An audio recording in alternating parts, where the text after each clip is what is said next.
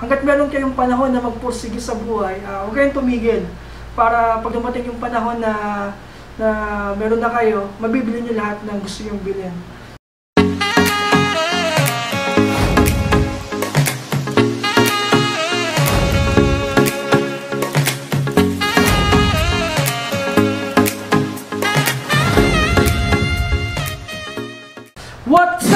Pinagpala? Welcome back to our channel. At sa mga bagong nanonood dito sa aming channel, welcome na welcome kayo sa Pamilya Pinagpala.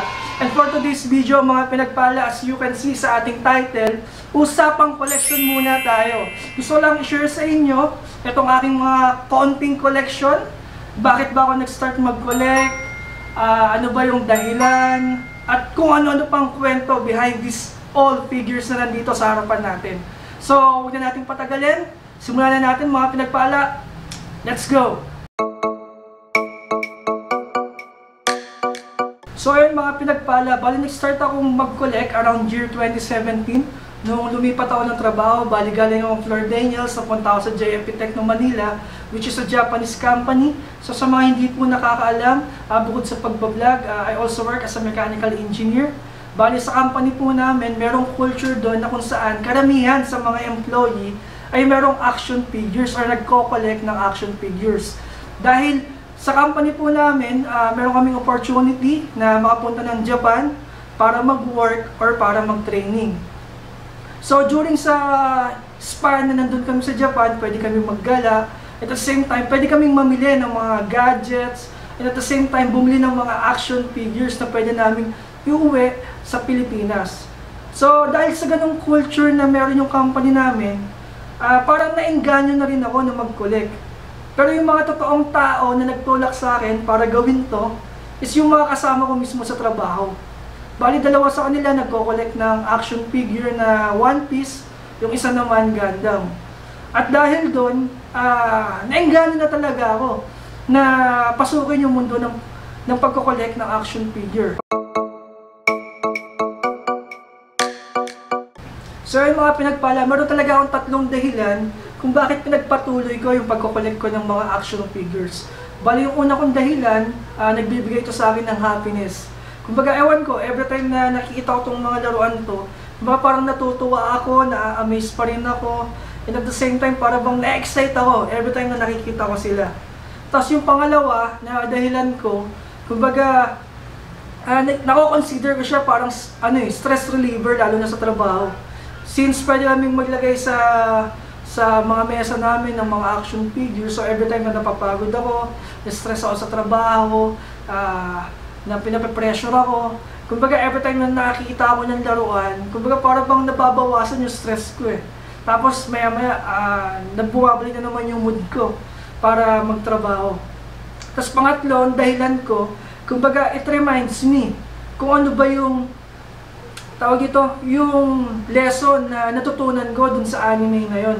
Bihira akong manood ng mga anime, pero yung mga nagugustuhan kong anime is talagang merong epekto or meron akong lesson na natututunan.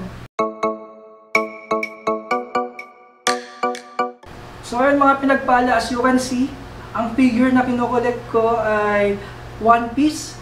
So bakit ba One Piece yung uh, napili ko na gawing collection? Kasi ewan ko, nagandahan lang talaga ako sa kwento ng One Piece. Kumbaga parang nag-start sila na grupo na kung saan meron sila kanya-kanyang goals. Uh, yung isa gusto maging Pirate King, maging Greatest Swordman, maging Great Warrior of the Sea, iguhit lahat ng mapa sa buong mundo, tapos makita yung Old Blue at marami pang iba sa kanila. Tapos uh, makikita doon na habang nabibuild up yung character nila, palakas ng palakas din yung mga nakakalaban nila. Pero ang kagandahan doon, habang lumalakas yung kalaban nila, kumbaga sila mismo, uh, ginagawa nila yung the best nila para ma-overcome yung challenges na kinakaharapan nila. Which is parang kagaya rin sa buhay natin, di ba? Kumbaga, tayo, meron tayong mga ambitions, goals, or dreams sa buhay. Kumbaga, parang malaki yung effect nun sa akin. Eh. Kumbaga, parang sa akin, parang pinaka naging effect niya is talagang kahit ano man yung makita kong challenges, obstacle na yan, gano'n man kahirap yung haharapin ko, kumbaga, kailangan ko pa rin magpatuloy hanggang sa maabot ko yung, yung goals ko at dreams ko sa buhay. Kasi ganun din, ganun din umikot yung kwento nung One Piece. Ewan ko kung ganun ba yung epekto sa inyo, pero sa akin, ganun yung naging epekto niya. So, siguro, uh, ayun na muna yung ikikwento ko. At simulan na natin, ipakita ko na sa inyo lahat ng uh, action figures na meron ako. So, bago ko ipakita isa-isa, siguro panoorin muna natin itong video na to.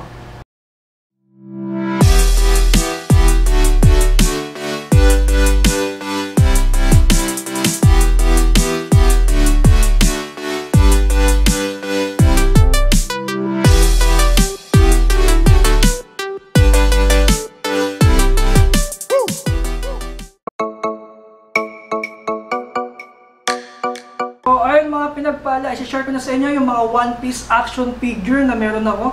So, simulan natin dito sa Luffy Shrine ko.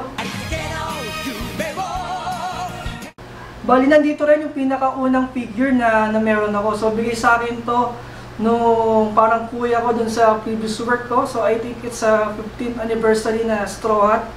So, yan. So, ito yung pinakaunang action figure ko. Tapos, ito naman, bigay sa akin to kaya mga pinagpalabigay din sa akin to nung kasama ko sa trabaho. Bali nung galing siyang Japan, pag uwi niya. So yun, binigay niya sa akin to.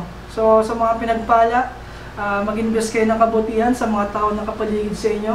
Para sa panahon na alis sila, meron kayong pasalubong. So ayun, eh, joke lang. Mga parang, yun. Maging mabuting kaibigan lang tayo mga pinagpala. Tapos eto, bigay lang din sa akin to. So itong Luffy na to. So ang cool nito kasi nandito yung uh, hat ni Sabo, pati ni Ace. So, ayan.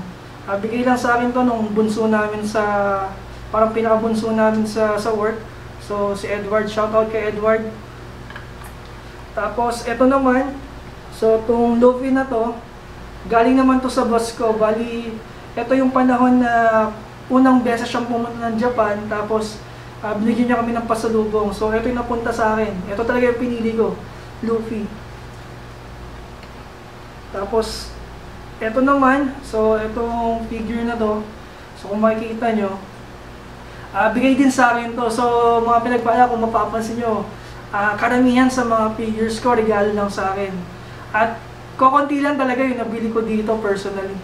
So, ito naman, bigay sa akin nung parang senior ko, yung nagturo sa amin sa trabaho. So, galing sa kanya to. Tapos, ito namang dalawan to, So, ito yung isa sa mga unang nabili ko na laruan. So, I think nasa 100 pesos lang isa nito sa Pinas.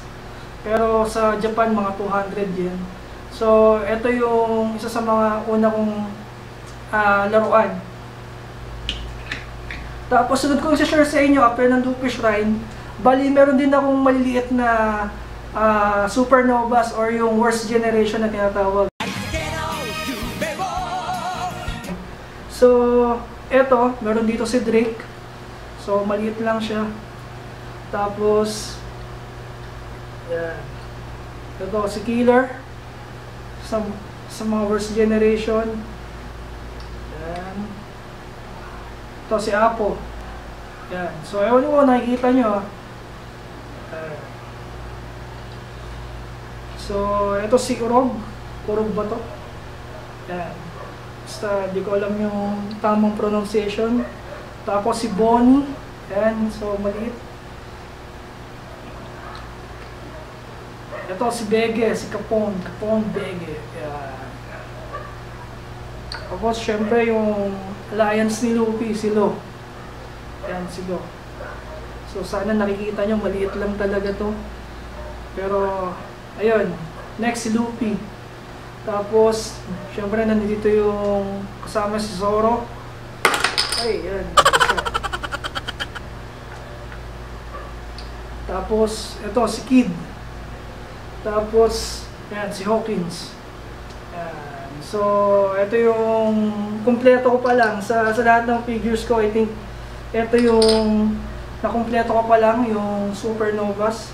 So, ayun, bali next ko naman na ipapakita sa inyo is yung mga Warlords. Bali, ayun, kulang nga lang sila kasi, uh, ayun, wala pang makita. Uh, wala pang makita na mabibili pa na iba. So, ang pinaka-goal ko talaga dito, lahat ng naging warlords, talagang magkaroon ako.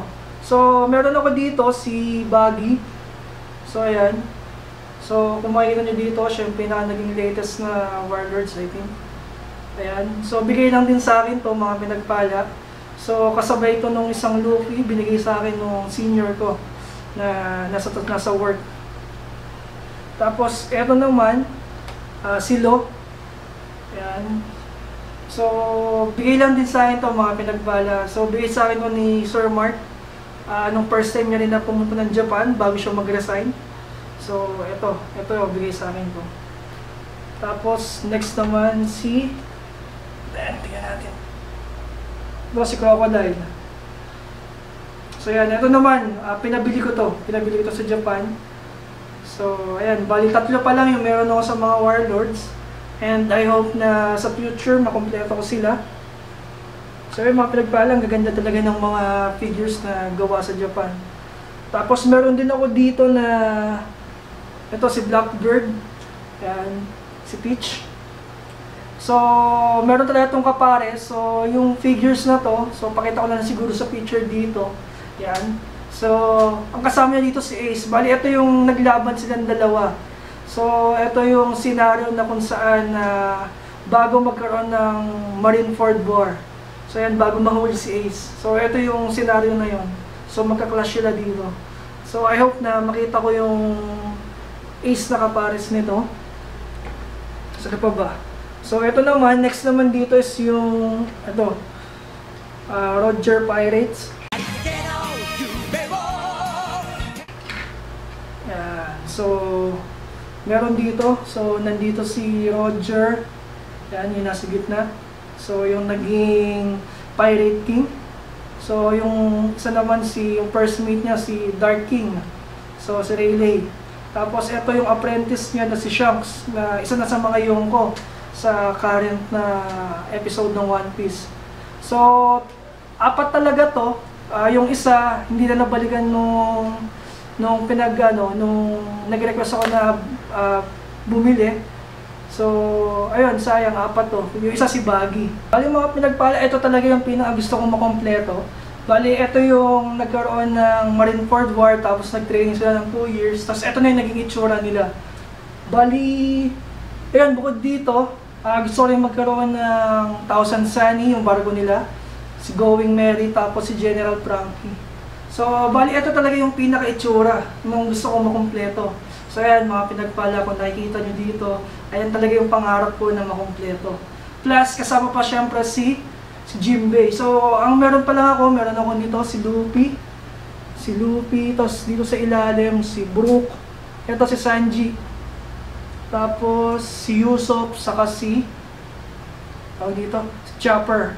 So, ayun, lima pa yung kulang ko plus yung dalawang barko at si General Frankie.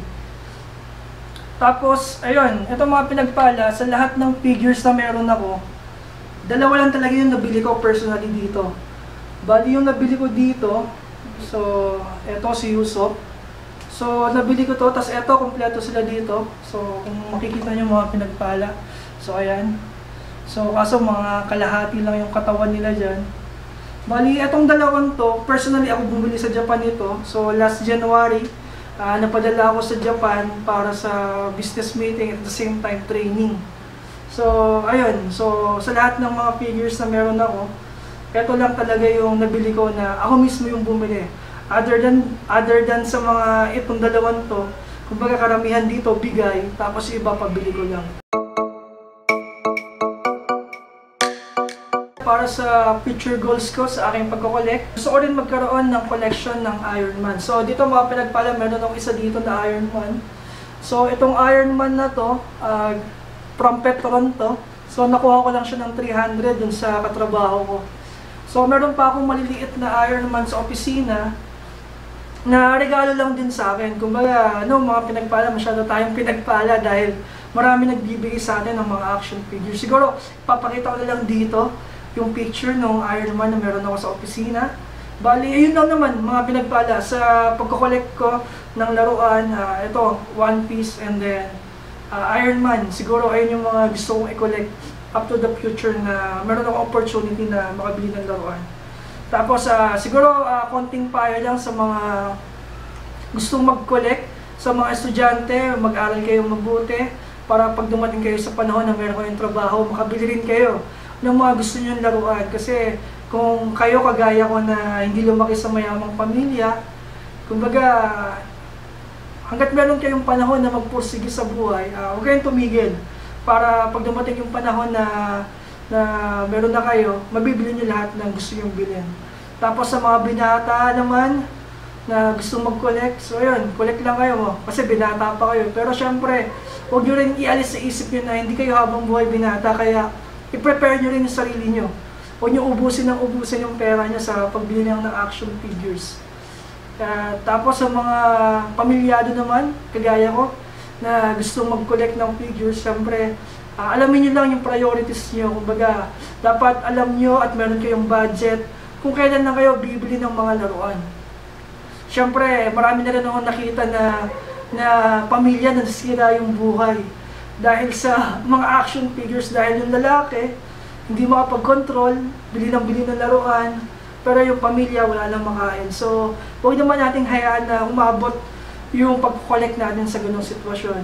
At ayun, maraming maraming salamat mga pinagpala sa patuloy na pagsuporta. So if you like this video, please don't forget to like, comment, share, and subscribe. Don't forget to hit the notification bell para lagi kayong updated sa aming mga video. And also, please support us sa aming Facebook page, Instagram, Twitter, at higit sa lahat, ang favorite ng lahat ay ang TikTok. So maraming maraming salamat mga pinagpala. God bless you all.